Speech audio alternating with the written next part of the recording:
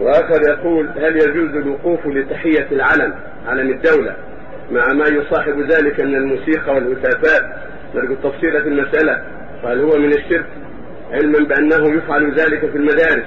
وهل يصح قياس العلم برايه الحرب في المعركة؟ أفيدونا جزاكم الله خير. الذي يظهر هذا لا يجوز ومن السب باعداء الله وقيام العلم وانشاد قصائد أو ضرب الموسيقى. كل ذلك يسب بأعداء الله ولا يجوز. نعم.